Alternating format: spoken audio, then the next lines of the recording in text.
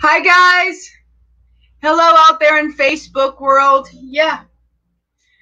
Hello, family. Say something. Say hello. Yeah, hello, hello. Bless you, bless you. Thank you, Jesus. We worship you. We worship you, Jesus, for you're the faithful one.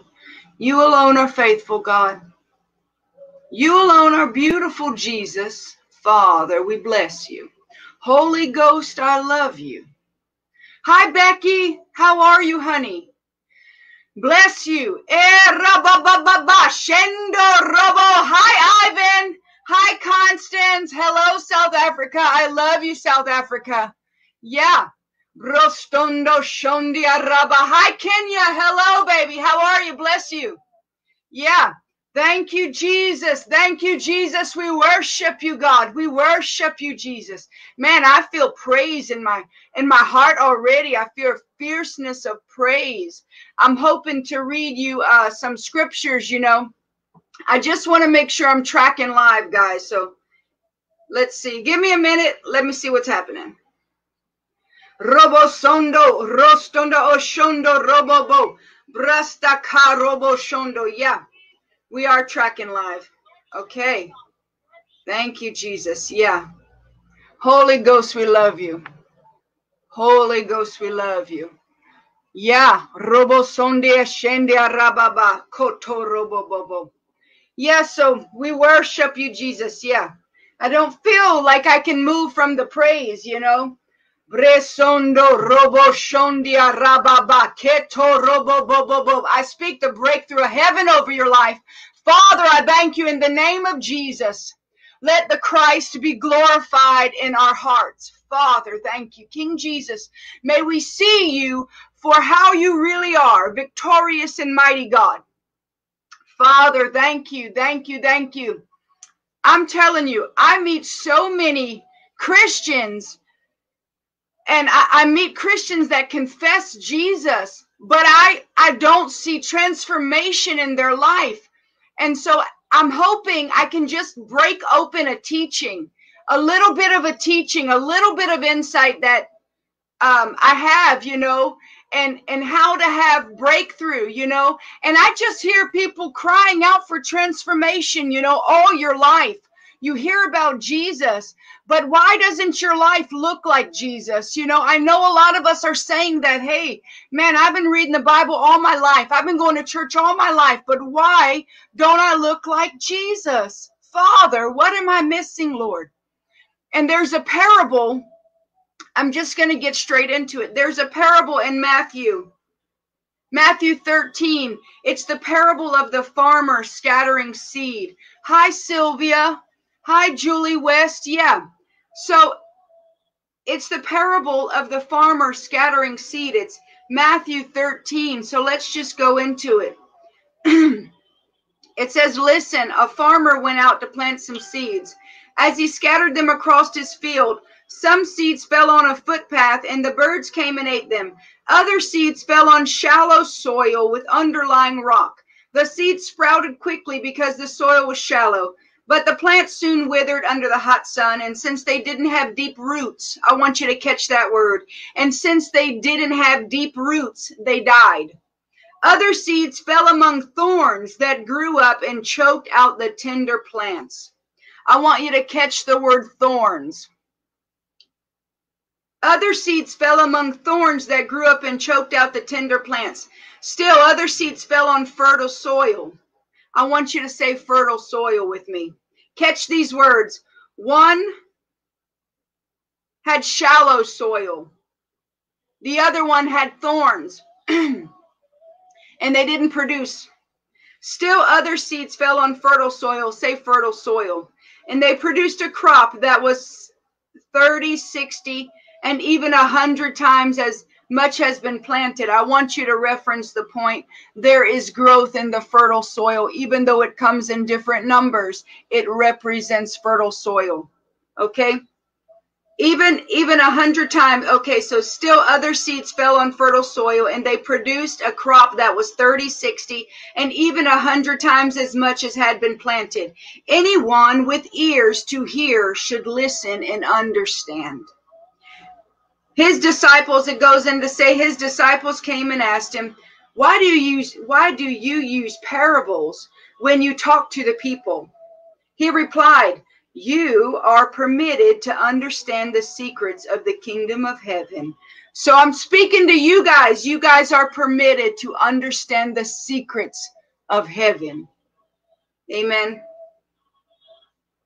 To those who listen to my teaching, more understanding will be given and they will have an abundance of knowledge. Sounds a lot like the um, the talent story you know to who has more will be given. Amen? Amen. So you get a little bit of teaching understanding god will multiply it greatly. Okay? But for those who are not listening now everyone has a physical ear. He's saying do you have spiritual ears can you hear what the Spirit is saying? All right. So this is just a hint of a teaching because this is so layered. So we're just going to keep going. Holy Ghost, we love you. To those who listen to my teaching, more understanding will be given, and they will have an abundance of knowledge. But for those who are not listening, even what little understanding they have will be taken away from them. That is why I use these parables. It, he says, For they look, but they don't really see. They hear, but they don't really understand. Jesus, help us, Lord. I'm jumping down to 15 or 14. This fulfills the prophecy of Isaiah that says, When you hear what I say, you will not understand. When you see what I do, you will not comprehend. This is referencing people that try to understand spiritual things with their natural ear, people that try to see the kingdom with a natural eye. First of all, to be able to understand the kingdom and see the kingdom, you must be born again. You must die with Jesus and get resurrected into glory with him. You must be born of spirit. You must have the Lord's Spirit to understand what the Spirit is saying. You must have the Lord's Spirit to see what the Lord is saying. This type of understanding and seeing and fertile soil. How do you get a heart that's fertile, guys? You die with Jesus, and what do you get? You get a brand new heart. All things become new. This verse is in connection with baptism, you dying to everything you were never meant for, and you being resurrected in glory. Amen. So just catch what the Spirit of God is saying. I just I just thank you, God, for the Spirit speaking. Okay. Let's jump down to talking about the parable of the seed. Okay, so it says, Now listen to the explanation of the parable about the farmer planting seed. These are the keys to transformation. Check this out. Okay, now listen, we're at 18. Now listen to the explanation of the parable about the farmer planting seeds. The seed that fell on the footpath represents those who hear the message about the kingdom and don't understand it there's some key words in here. First of all, we know we got to be born again. Amen. We get a brand new heart. Your heart is no longer wicked and deceitful. You get a brand new heart. Amen. You're married to the Christ. You are fused with him. You are one spirit. He who joins himself with the Lord is one. Amen. It says so. The seed that fell on the footpath represents those who hear the message. Oh, yeah, okay. The seed that fell on the footpath represents those who hear the message about the kingdom. First of all, how do you hear the message about the kingdom unless you're born again? Amen. Seeing the kingdom is directly connected to repentance.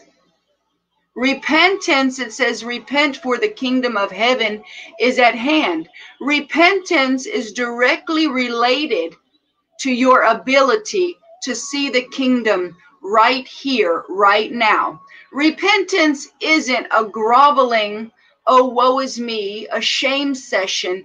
It is, hey, wake up, stupid. The kingdom's right here, right now. Take it. Take advantage of it. Of course, he probably doesn't say stupid You know, but Paul does in Galatians. What does he say? Hey, you idiots. Okay, so let, let's keep going. It says, Yeah, the seed that fell on the footpath represents those who hear the message about the kingdom and don't understand it. First of all, how do you get an understanding heart? When did you get a new heart? How about in the death of Jesus? How about when you died, something amazing was given to you, and it's the heart of God. Amen. The heart of Jesus, the Spirit of the Lord. What's in the Spirit of the Lord? The seven spirits. How about understanding is one of those attributes. Amen. So understanding comes from the Holy Ghost. Okay. Amen. So it says, the seed that fell on the footpath represents those who hear the message about the kingdom and don't understand it. Then the evil one comes and snatches away the seed that was planted in hearts. The second one, you ready? The seed on the rocky soil represents those who hear the message and immediately receive it with joy. But since they don't have deep roots, they don't last long. They fall away as soon as they have problems or are persecuted for believing God's word. Okay, listen to this key, guys.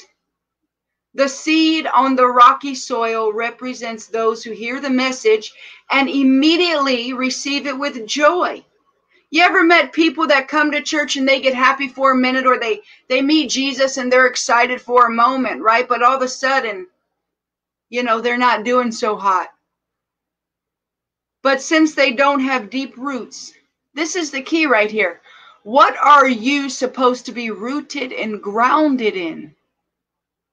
You're supposed to be rooted and grounded in love. Who is love? It says God is love. So, because people are not rooted and grounded in love, love doesn't seek its own. So, it's directly tied to seeking your own seeking your own will. Okay, I hope I hope you're tracking with me. So when they're not rooted and grounded in the love of God, when they're not rooted and grounded into unselfish behavior and all the attributes of love, it says that um, they fall away when they get problems. You know why? Because most of us are are are presented a gospel that's supposed to be here to serve us. You know, and so when people aren't rooted and grounded in love, the nature of the Christ, all of a sudden they don't have anything to stand on because they're only standing for themselves.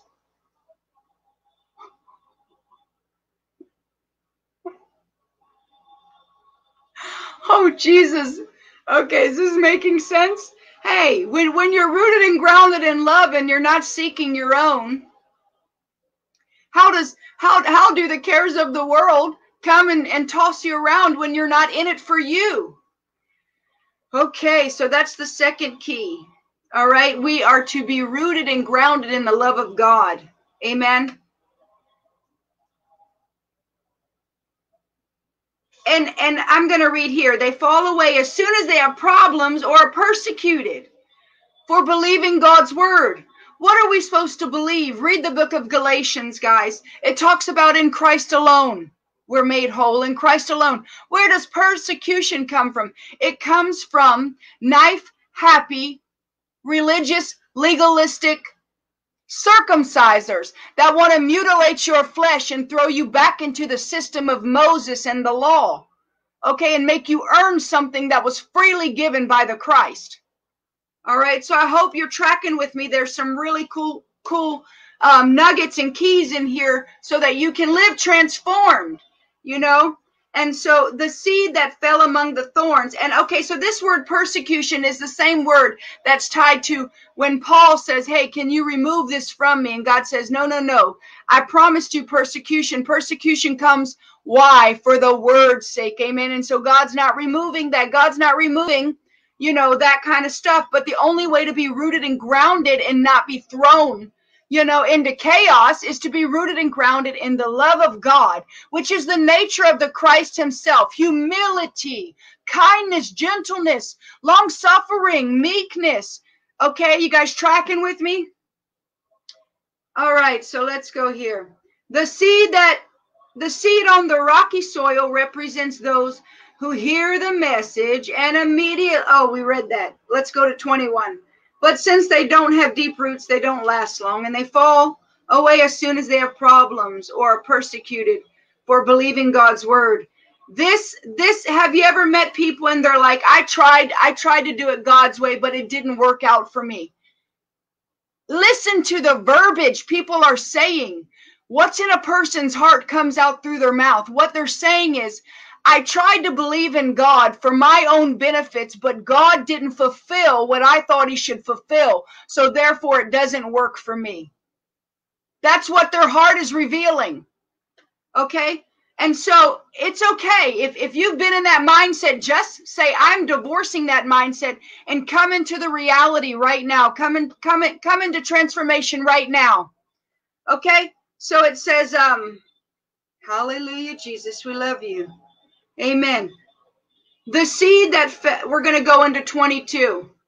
The seed that fell among the thorns represents those who hear God's word, but all too quickly the message is crowded out by the worries of this life and the lure of wealth, so no fruit is produced. How is fruit produced, guys? Isn't it a fruit of the Spirit? Come on, Paul says to Timothy, don't neglect the gift that's given to you. Stir up the Holy Ghost. How about you just acknowledging Holy Ghost, dwelling in the presence of God? Amen. That's another key. You ready? Let's jump to 23. The seed that fell on good ground, on good soil, represents those who truly hear and understand God's word and produce a harvest of 30, 60, or even 100 times as much as had been planted. So the first seed, they don't lack any kind of understanding. It says they hear the kingdom, but they don't understand. They don't understand what this life in God is all about. They don't understand that you're promised the nature of the Christ that you're promised relationship and communion with God Almighty. They don't understand that the purposes of God will prevail, not your own personal purposes, but the purposes of God will prevail. They don't understand that this isn't a all for me, bless me gospel. They've been taught wrong, you know, and so when things don't go their way, they say, oh, forget this. I tried God, forget it. No, what they're saying is I plugged him into my formula, and because he didn't come through on how I thought he should, I'm giving up. But see, now I everyone is preaching. Uh, well, not everyone, but you know, the message of righteousness and the nature of the Christ is running rampant right now, and so there's so much understanding available. Amen. Okay. So, Holy Ghost, we love you. So, the first one represents an understanding heart. Now, the first one represents not being rooted and grounded in love. Amen. Actually, let's see. No, the first one, I'm sorry, let me track here. The first one represents an understanding heart, an understanding of why you're born again, understanding what the purposes of God are are are in your life, not your own life. It's His story. You are partnering with the Lord. You don't have your own agenda. You don't have your own, only the plans of God prosper. you know, only the plans of God prosper. Amen. Everything God puts his hand to prospers. Okay, the second one the the um the seed gets snatched because they're not rooted and grounded in love. Amen. They're not rooted and grounded in God. Amen. They might be rooted and grounded in uh they, they might they might prophesy, they might do miracles, they might be a teacher, they might preach, but they're not rooted and grounded in in love. And so um, you know, they don't do so well. You know, they fall off. because they're they're not in it for God themselves because love, God is love. You know? Okay. So, yeah. I Hi mama, my mom's on. Hi mom. My mom is Julie. Love you mama. Hallelujah. Okay, and then it says but and then the third one let's see. Okay, the third one, let's see, it says the cares and problems of this world come and they get pulled pulled pulled away. This third key is directly related to your ability to perceive past your circumstances. This third one is directly related to your ability to have the perspective of the Christ so that you run well. Amen. Okay, let's just read it again. It says, The seed that fell among thorns represent those who hear God's word, but all too quickly the message is crowded out by the worries of this life and the lure of wealth, so that no fruit is produced. What do thorns represent? The cares of this world, right? So if you don't get a, a bigger perspective than your little life, if you don't get the perspective of God and why you're here for the purposes of His kingdom, we're in His world, breathing His air, created, living in a body that He made for us. Amen. So if you don't get beyond yourself, if you don't get an eternal perspective, it says that you'll fall away because life will try to come and overwhelm you. And so, Holy Ghost, so that's just a little bit of a nugget, you know those are just some keys to um, transformation. Amen. So, Father, I bless your word. I bless what you're doing right now, and I bless um, I bless you, Holy Spirit. I trust you for preaching the kingdom of heaven, Jesus. Father, I thank you in the name of Jesus. You know, I I um am, am doing um a conference, you know, this weekend, and um it made me so sad. You know what someone said to me? You know, I I preach on intimacy with the bridegroom because intimacy with God is the safest place you can be. It's only from that place that things get produced in your life. It's only from abiding in the Christ. It ends striving and performance and it ends man pleasing, self hatred, all of that. It's the only way to allow the kingdom of God to flow through you. But I was on a call. I was on a call today, and the lady said to me, she said, Amber, you know, I've been doing this for like 15, oh, sorry, I've been doing this for like 15 years. And we've never had anyone speak about intimacy with Jesus. And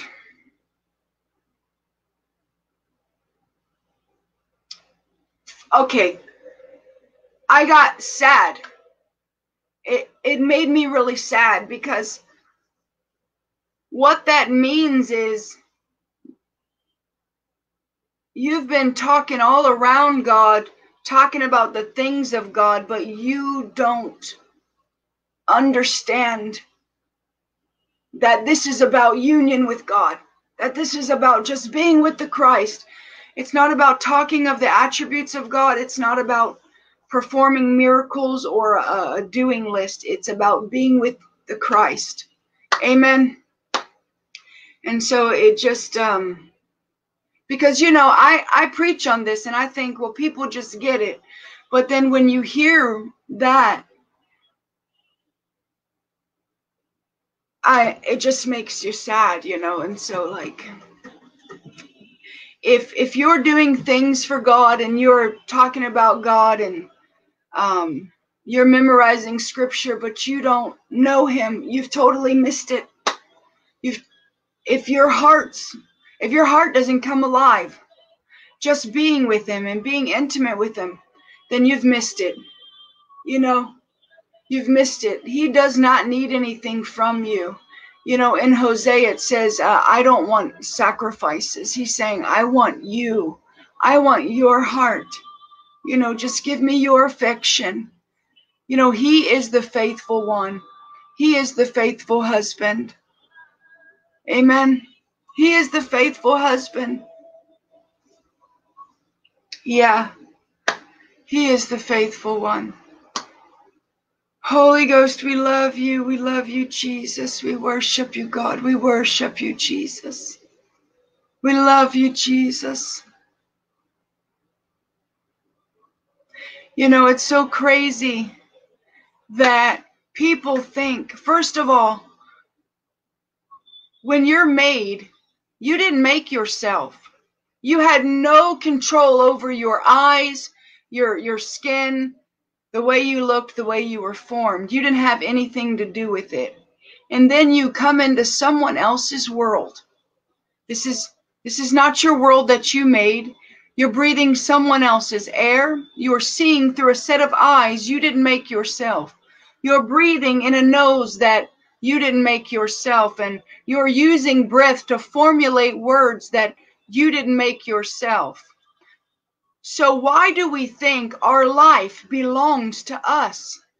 It's the craziest thing to me that humanity thinks that their life is their own when they didn't have anything to do with making themselves.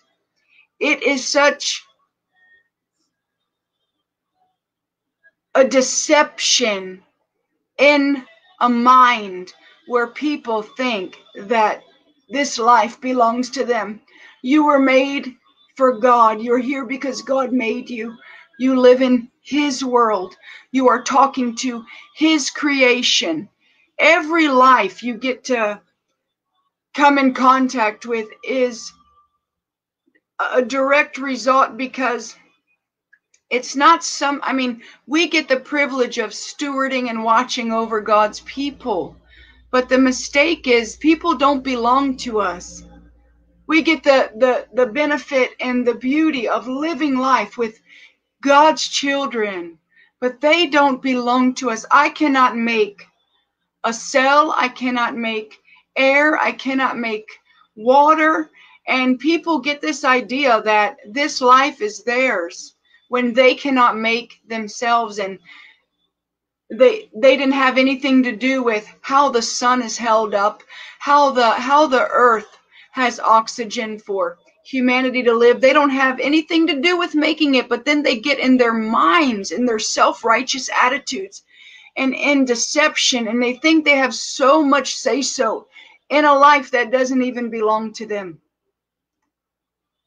you know let's see God correctly. Amen. This life is a gift. This life is a gift. Your itty bitty life is a gift. What will you do with the gift of life? Will you live it for yourself?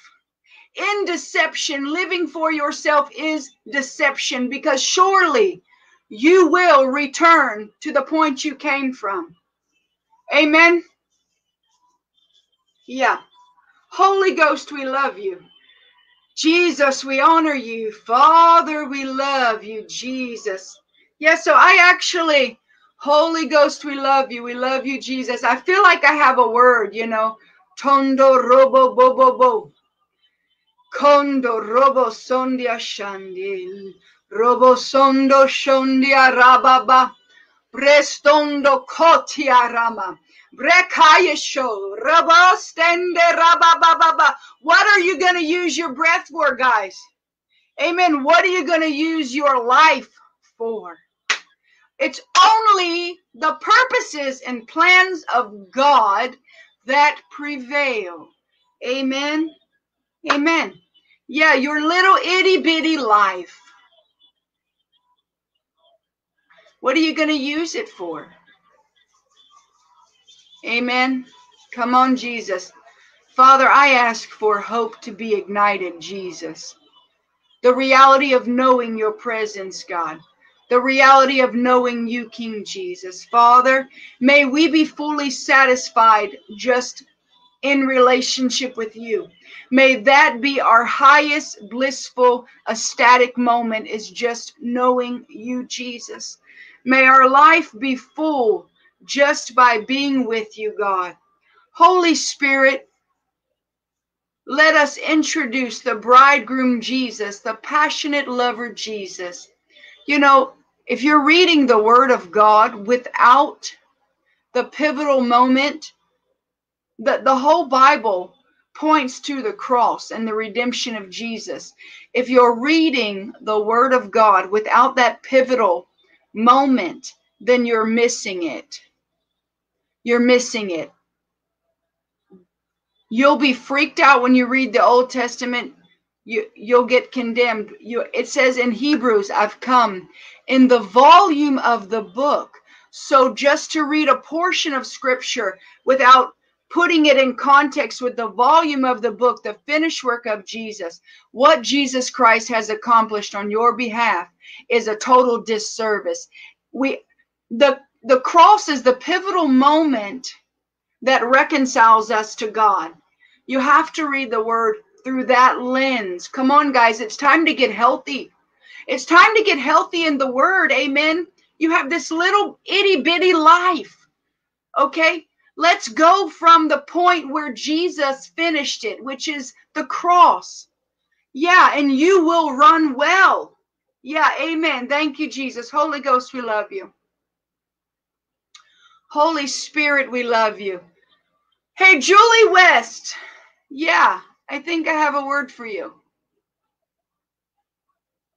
I don't know if you're about to send out missionaries or uh, what you're about to do, but I just see you connected to sending people out, Julie. And so um, I don't know if you yourself are about to get sent out, but I just see mission work, you know, mission work for you. Yeah, I see mission work for you, Julie. Yeah. So I don't know if that makes sense, Julie, but I just bless your hand and and I just see your um, desire to love on children and God's children and the ability to want to feed them and all of that, you know. And so God's all over that. So I just bless you. Yeah. Holy Ghost, Kristen Erickson Hoey. Yeah, Jesus, come on. I just feel like God, hallelujah. I just feel like, you know, I feel like God is just sweeping through thoughts for you right now. I, I, I, believe you're starting to get inspired by the thoughts of God for your life. And I just see like transformation in your thought life. And so, Kristen, I just bless what God is doing. And I just see the Lord reviving your thought life. And yeah, so thank you, Jesus. Amen.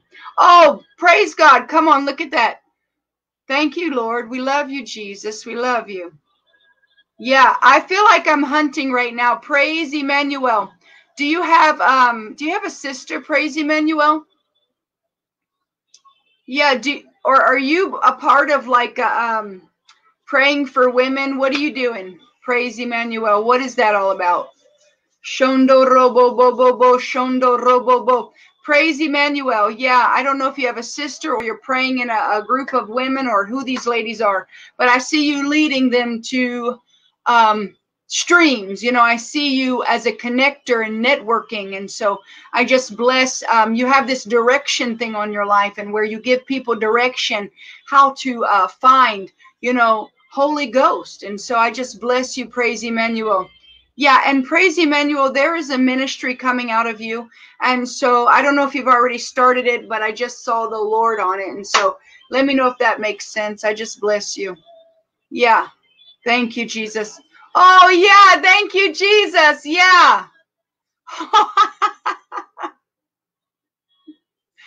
Holy Ghost, we love you. Yeah. Come on, Jesus. Yeah, yeah. So praise Emmanuel. I don't know if you're wanting a new building, you know, but I don't know if it's going to come in the next three years or not. I'm not exactly sure on the timing, but I saw a new piece of property coming to you. So just be excited.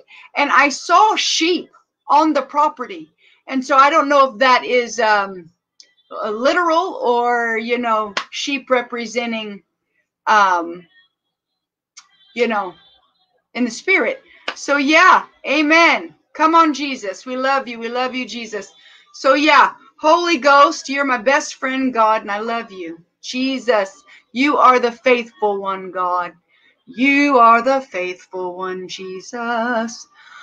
O contorabosonda shundura bastie brastondia sturom stekira.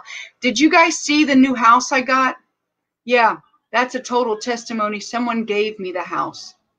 Someone gave me the house. And I just want to share. Oh, you're welcome, honey. Bless you. Someone gave me a piece of property. It's like two acres. Someone gave it to me. And I'll share a crazy story with you. Um, they bring me in and they're like, Hey, do you like this house? And I'm like, Yeah, it's a nice house, but uh, you know, I don't know. I can't, I don't know about, you know, paying for this house and and all that. And she and they're like, you know, I'm not interested in your money, lady. That's what they're saying to me, right? And I'm like, what? And I'm like, what? And I go, wait a minute. Well, I, I would only take this house if I could start a house church here. And they go, yeah, we know. That's why we're giving it to you. Isn't that cool? Isn't that cool? God shared his plans with them and they were just jumping on it. And so, yeah, so I'm stoked, you know. Praise God. It I you know, I've been painting that house and my friends have been painting that house. You guys, I am so sore.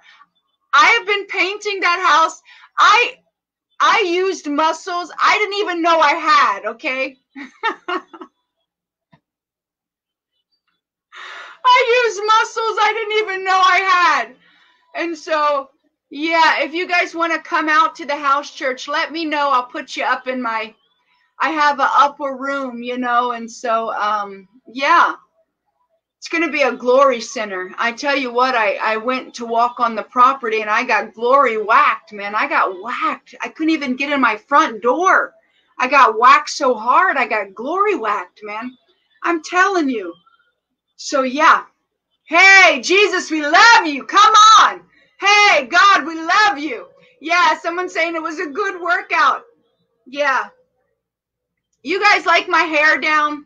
You know, you guys are my family. I don't know. I'm not a big hair down person. I don't know. I don't like things in my face. So if it looks weird, pray for me.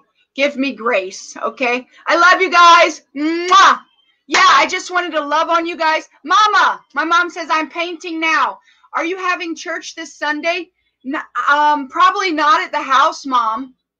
Probably not at the house because I need to get chairs and I need to get uh, microphones set up and uh, yeah, all that kind of stuff. But I will be officially moved in. Oh, Christina says, love you here. I love Christina. Yeah, I just love her. She's gorgeous. She's like, I just love Christina Lynn. Yeah, thank you so much.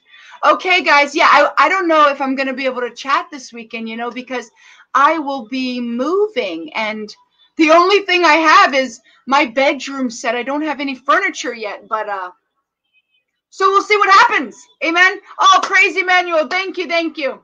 Okay, guys. Love you. Mwah.